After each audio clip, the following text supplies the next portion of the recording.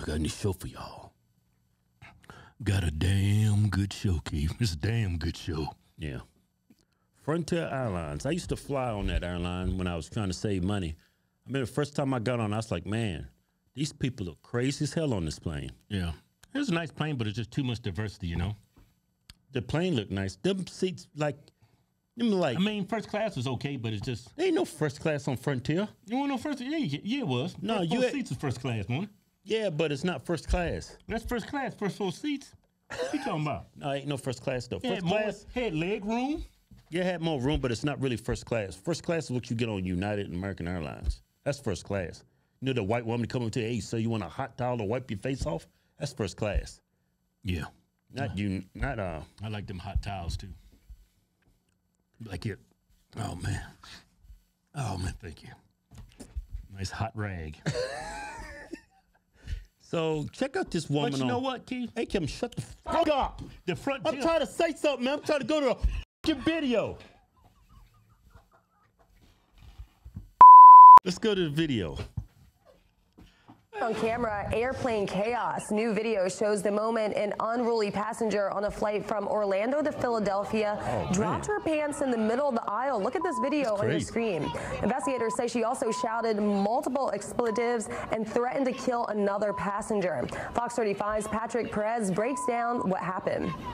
Flying can be stressful, especially on a holiday week, but what passengers aboard this flight witnessed is something that they're never going to forget, and neither will the young children who saw and heard it all. I do whatever I want to do for this right. This Frontier Airlines passenger Damn aboard flight Monday from immigrant. Orlando to Philadelphia sent shockwaves through the cabin, not just with her words,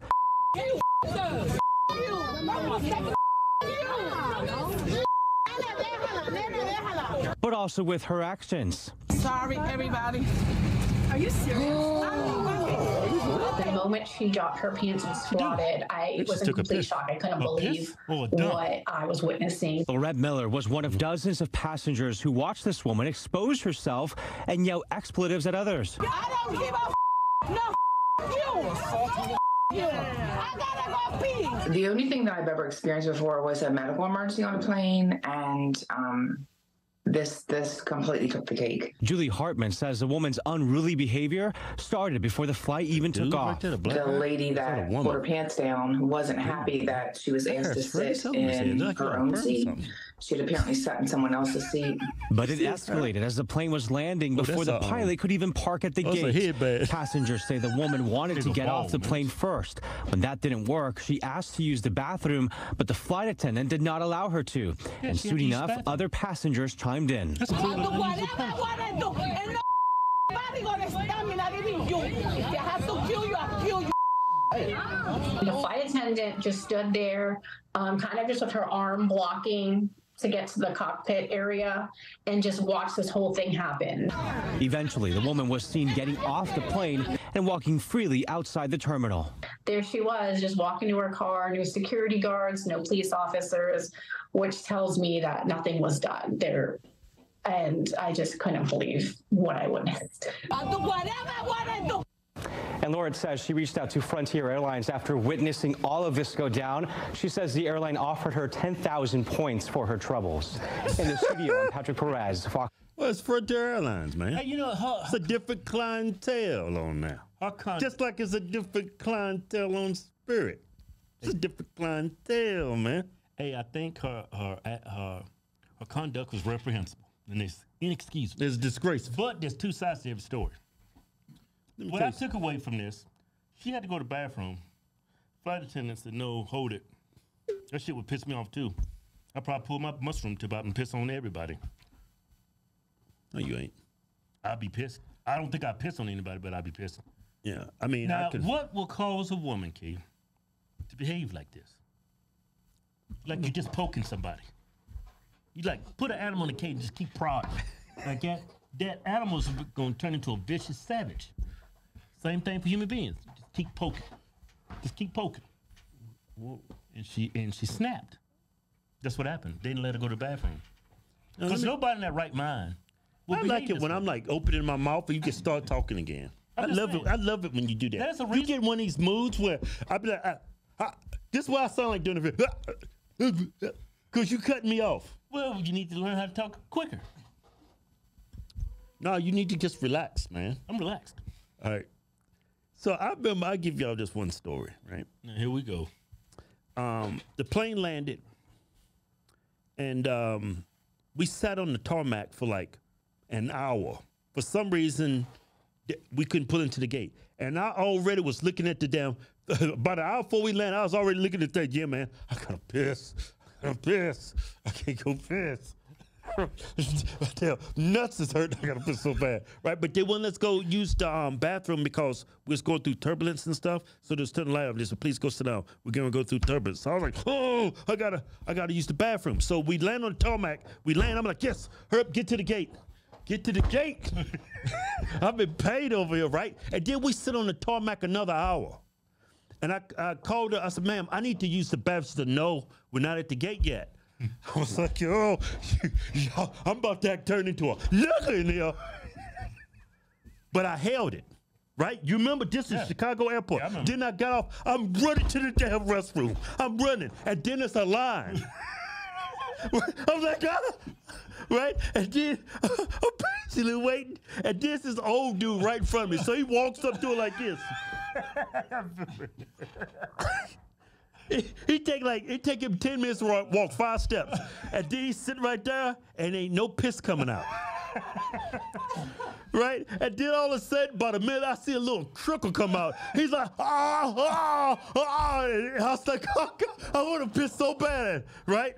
And then he he got done. He was turning Get the fuck out the way. Oh, and by the time I took a piss, I was like, that shit, it hurt when it came out. I was like, ah, oh, oh, ah, ah. You remember that? I remember that shit, man. You get, you gotta go so bad. It won't go- even come when out. You go, pick- it won't even come out. It's like something gonna blow up inside. you. I said, "Yep." I didn't snapped some shit. I bet I'm pissing inside of myself right now. Yeah.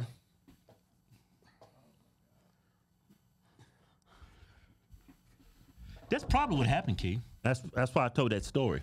Shit's all dang. I'm not I'm not trying to justify what she did. Yeah. But when you you can hold it but so long. Like when I was man, get the hell off me. Like when I was younger, I could hold it all day. Not but man, anymore, I'm man. damn near 50, man. yeah. I mean, I had to piss I so bad. going- Shut up. When I pulled it out, man, it was.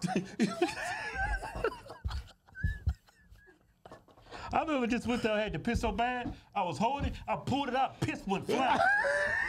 piss went flying. Everybody was looking at me, said, "Man, what the hell's going on?" And then I tried to piss and no piss would come out. I was like, what the hell's going on? damn valve shut off. It's inflamed. You know, you hold it for long, your damn urethra get inflamed and it just squeeze up on your ass. Urethra. Yeah, your damn urethra or your damn bladder get inflamed. You hold it for so long and it squeeze it get it, it, uh, the damn bladder gets swollen, get inflamed, and it just it just it's just like a tourniquet on your damn urethra. And then when you gotta uh, go, you gotta like you gotta push it out. Yeah, I think, you know why they didn't um, call the cops on her? Because I think the airline was in the wrong. How in how She did hell fla- can she you, did flash- How can you expose yourself and then defecate? She didn't defecate. She took a pee. Well, defecate is pissing, right? No, defecating is like you dropping you dropping bricks. So pissing ain't defecating. That's just okay. That's that's defecating. The other is urinating. Yeah. Yeah, if somebody pulls, You up- didn't know that? Well, I didn't know. Now I know. What you what you think you better than me? she piss out. She pisses, right? She pisses out. Yeah, she pisses out, right? You, you, sound, you make it sound like she bled out. she bled out. She damn. She gone. Yeah, they didn't call the cops because they were in the wrong. Well, it's, front, you. it's Frontier. They probably don't have no resources. No, they they don't. They have be like, look, uh, you know, you Frontier. do- shut up. You know, Frontier don't have good. Frontier do not have good um customer service skills. Oh, the clientele. Well, well, well we, we, we, we keep saying clientele. Frontier and all those Yeah, discount airlines.